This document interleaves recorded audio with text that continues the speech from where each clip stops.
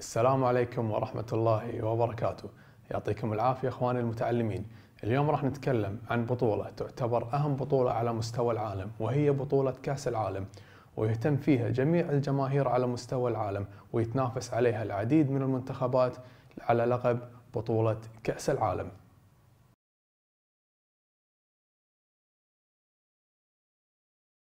يعتبر الإحماء شيء أساسي في كل عملية تدريبية.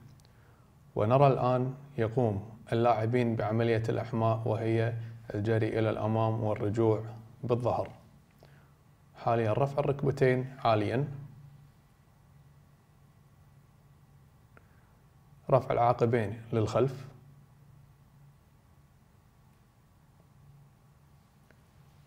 دوران الرجلين للداخل.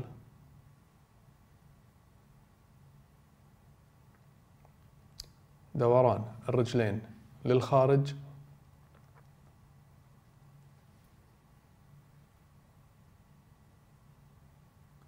ونرى يقوم كل متعلم بالجري بين العلامتين أو الجري الجانبي.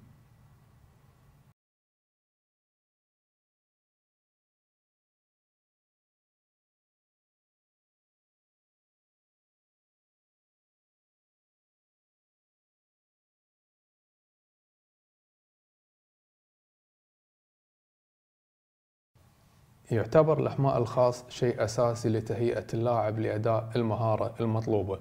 ونرى الآن الجري بالكرة في المنطقة المحددة والجري بين العلامات وخلفها.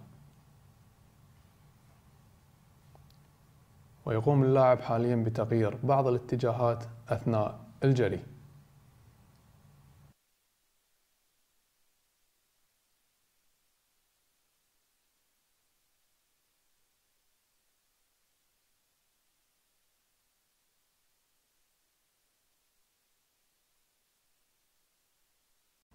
يقوم اللاعب الآن بالجري بالكرة بوجه القدم الداخلي والخارجي.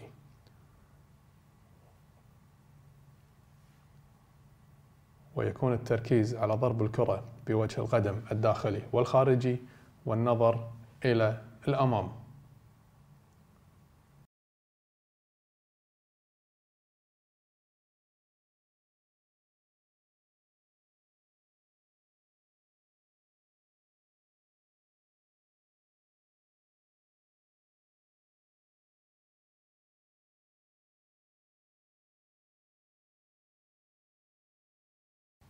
ونرى الآن عزيزي المتعلم يقوم اللاعبين بالجري بالكرة في المنطقة المحددة والدوران حوالين العلامات أثناء الجري بالكرة بوجه القدم الخارجي والداخلي.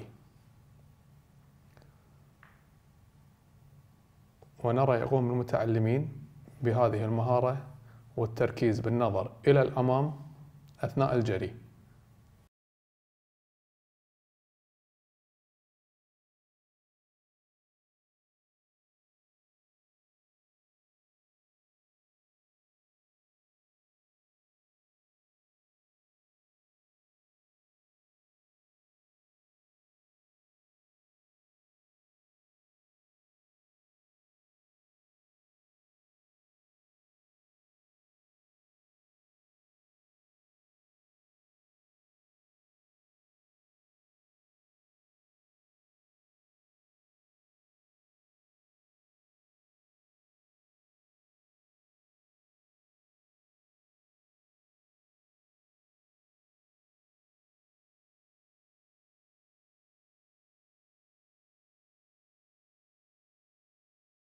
مع نهاية كل تمرين تعتبر تمارين التهدئة من الأمور الأساسية.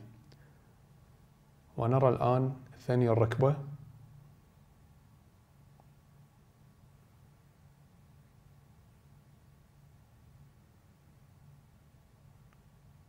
تغيير اتجاه للرجل الأخرى.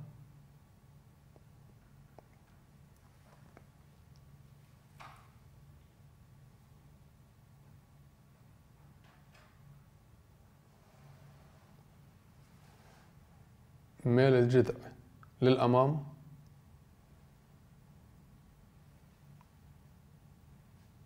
مع فتح الرجلين.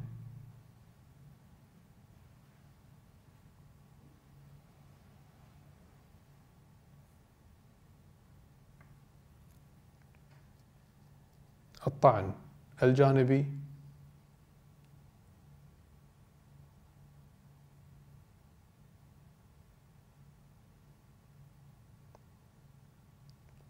وتغيير الاتجاه للرجل الأخرى.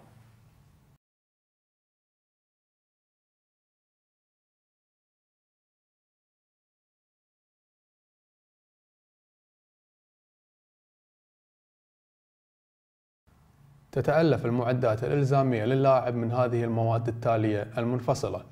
قميص ذو أكمام شورت جوارب أي شريط لازق أو أي مادة يتم ارتدائها خارجيا يجب أن تكون بنفس لون الجزء من الجوارب التي يتم وضعها عليه أو تغطيته. واقي الساقين يجب أن تكون مصنعة من مادة ملائمة لتوفير حماية مناسبة ويتم تغطيتها بالجوارب وأيضا لا ننسى الأحذية.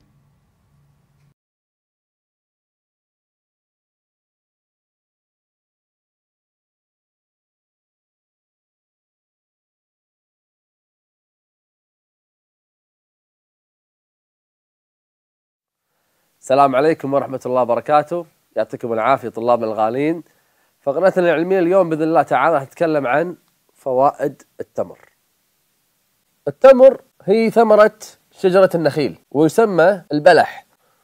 ومن أنواعها تمر الخضري وتمر الخلاص وتمر الروثانة وتمر السكري وتمر الصفري وتمر الصقعي وتمر العجوة وتمر مبروم وجاءت وصايا النبي عليه الصلاة والسلام في أهمية التمر أن البيت اللي ما فيه تمر يعتبرون أهل جياع. أن اللي ياكل سبع تمرات عجوة في يوم ما يصاب بالسم والسحر. التمر يحتوي على بعض الفيتامينات والمعادن المهمة. الفيتامينات هي المسؤولة عن تحويل الأكل إلى طاقة داخل الجسم. مثل فيتامين A. دوره يساعد في تحسين النظر للعين. وفيتامين D هذا يحافظ على تركيز الكالسيوم في الدم. وفيتامين B واحد. هذا يحافظ على سلامة الأعصاب. وفيتامين B ثلاثة. هذا نقصه في الجسم يسوي اضطرابات في الأعصاب وصداع وضعف الذاكرة. المعادن مثل الزنك والبوتاسيوم والكالسيوم وغيرها من المعادن هذه المعادن الجسم يحتاجها لنتحافظ على الصحة العامة وتقي الجسم من الأمراض. يحتوي على كثير من مضادات الأكسدة. تعمل على تقليل خطر الإصابة بالأمراض في الجسم. يحتوي على الجلوكوز.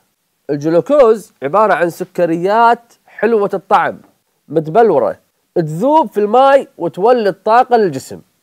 كذلك التمر يحتوي على سكر الفركتوز ميزة هالسكر إنه ما يتعب البنكرياس فما يحتاج ضخ إنسولين ينظم السكر داخل الجسم. وفي ختام الفقرة العلمية استبدلوا الحلويات الغير مفيدة بالتمر المفيد. أتمنى أنكم استفدتم من فقرتنا العلمية. نراكم بإذن الله تعالى في فقرات قادمة. يعطيكم العافية.